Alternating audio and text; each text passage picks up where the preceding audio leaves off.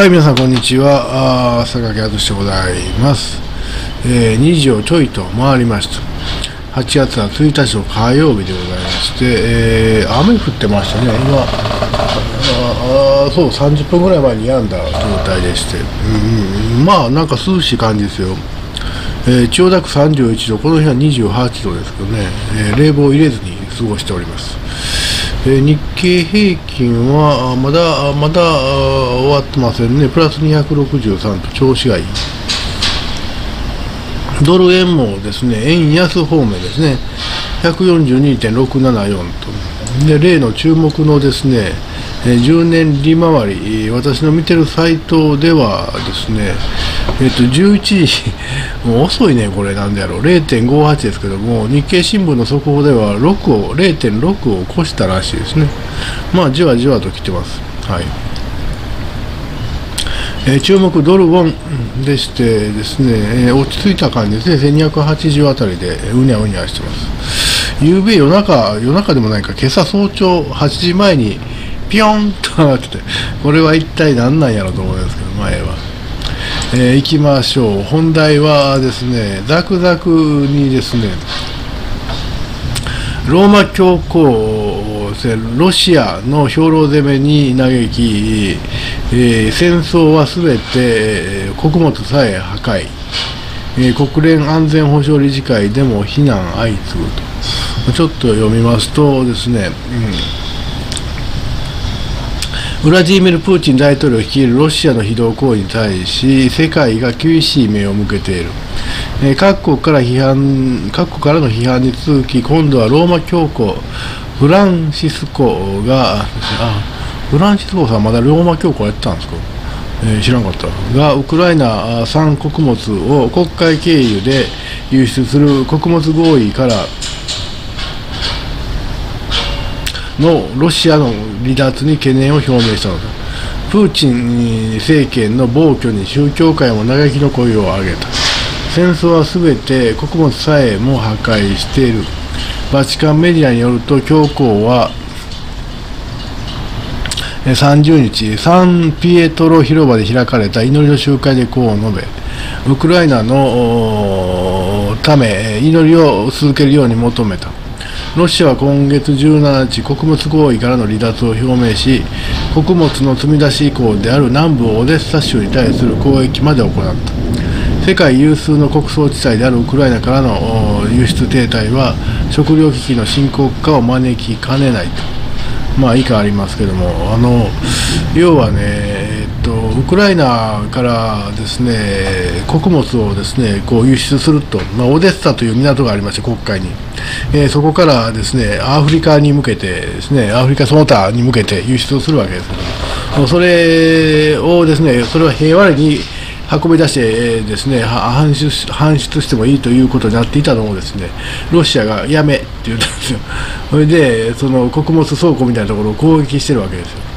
えー、つまりですねウクライナからですね穀物を輸出することを許さないと邪魔したんでというふうに言うてるわけですね。でこれに対してローマ教皇がですねけしからんことやというふうに言うてはるというのがですね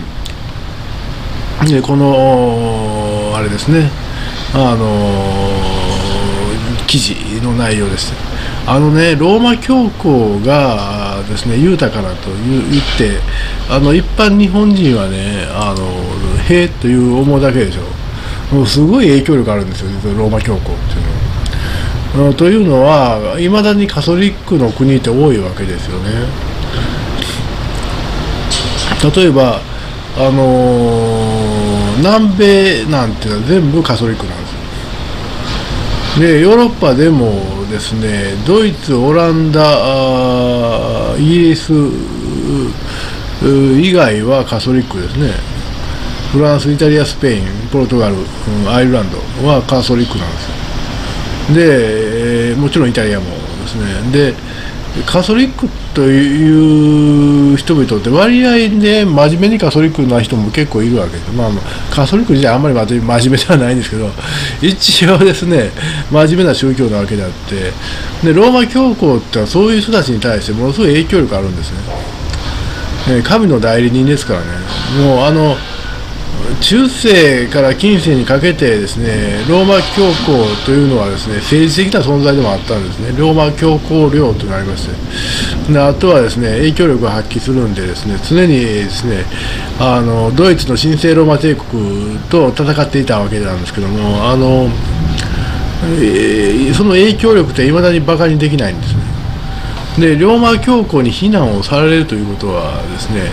まあ、世界の何分の1かを敵に回すということなんですよ。でロシアというのはロシア正教なんですね。これはまああのローマあのカトリックの親戚みたいなものなんですけどでも正教っていうのはねあのまとまっていないんですよ。もういや話はややこしいがあるんですけどキリスト教って3派あるんですね。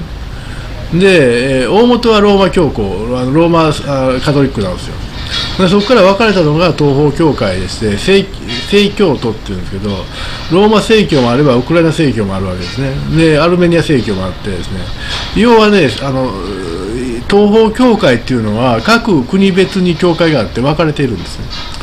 ね。でプロテスタントはそのグループで分かれてるんです。あの一つにまとまっていないんですよ。カルバンハムあるいはなんとかハマーってバーブテストがあったりとかですね、えー、メゾジスとかあったりとかいろいろいろいろグループで分かれてるんですね。まとまっていないんです。親分はいないんですけどローマだけはまとまってるんですよ。まとまっていてですね例えば南米ほとんど中南米はほとんどヨーロッパも半分ぐらいはカトリックでまとまってる。でカトリックに非難をされるということはですねこれはあの世界の何分の1かのあの白人系のキリスト教の人々を敵に回すということなんです。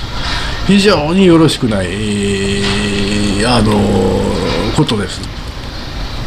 で。プーチンは今あえてそこをやってしまったということですね、ローマ教皇を敵に回してしまったということで、あまあの外交手段としては非常な握手、悪い手ですね、を放ったというべきですね。あのでしかも技術的にね、オデッサからですね国会を通ってですねあの2つの海峡を通ってですねあの地中海に出る道というのはです、ね、トルコが管理してるんですね。最近トルコはですねあの非常にふらふらしていてですねロシア寄りとも見られたんですけども今どっちかというとねあの西側寄りなんですよエルドアンがですね心を入れ替えたかどうかは知りませんよでも西側についてた方が得やねみたいになってるわけで、ね、今はね。ということはですね物理的にもですねあのウクライナの穀物輸出を阻止できるかできないかわからないわけですね。えー、だからあの要は威張り腐って何か言うたんやけど実行できないということもあるわけです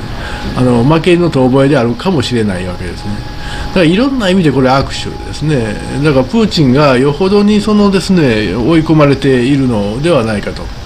思います。あの いやいや。だからね、最近ね、なんて言いますか、もうロシアが負けるということを前提にいろんな話が出てきてますけども、あのこういうね、こう分かりきった握手をね、わざわざ出してきたというのもね、これはプーチンの焦りではないかなと思うんですね。で多分ね、ウクライナの穀物の輸出というのは、ある程度、あの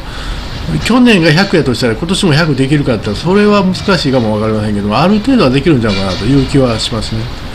まあそんなことよりもですね自分のことを心配した方がええんちゃうかお前みたいなそれが今のプーチンの状況ではないかなと思います。あのー、いやかなり追い込まれてるなというイメージですね。あの穀物輸出なんてね別にウクライナが穀物を輸出したところでねまあ多少のお金は入ってきますけども全体から考えたらねそんな大したことないんですよそれをわざわざ邪魔してね邪魔するんやって宣言してねで世界中から嫌われるというのはねどう考えてもやらん方がいいわけですよどう考えてもやらん方がええような手を選ぶぐらい追い込まれていてですね終わりが近いんちゃうかとだから僕はプーチンはね今年いっぱい持たへんのちゃうかなという気はしますけどねまあ、私の希望的観測も入ってはいます。えーえー、いやいや、かなりやばいなという気がしますね。はい、ということでですね、大体読みましたけども、このザクザクのページですね、ローマ教皇、ロシアの兵糧攻めに嘆き、えー、戦争はすべて穀物さえ破壊というですね、ザクザクのこのページのアドレスを貼っておきますんで、えー、ご興味ある方は行ってみてください。はい皆さんどうもありがとうございました